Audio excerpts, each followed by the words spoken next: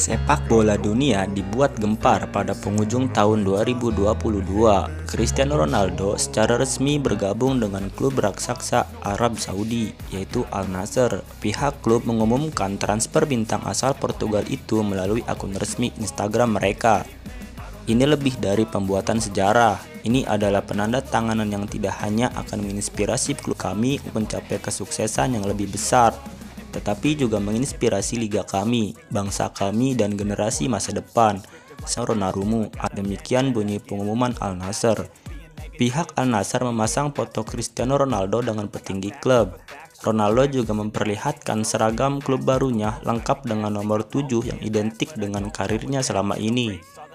Eksistensi bintang Real Madrid dan Juventus itu disodori kontrak selama 2,5 musim, terhitung sejak Januari 2023 Sementara gaji yang akan didapatkan di Al Nassr ditaksir mencapai angka 200 juta euro atau setara 3,3 triliun per tahunnya.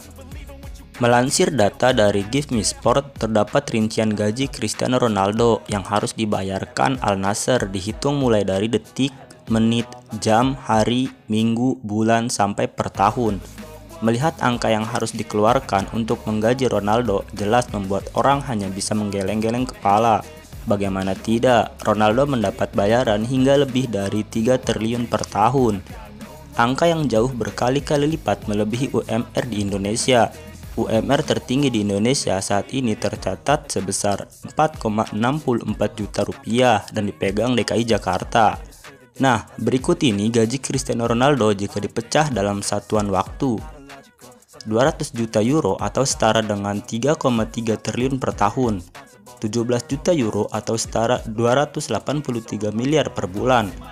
3,8 juta euro atau setara 63,4 miliar per pekan. 22,8 ribu euro atau setara 381 juta per hari. 380 euro atau setara dengan 6,3 juta per menit. 6,3 euro atau setara 105 ribu per detik. Fix.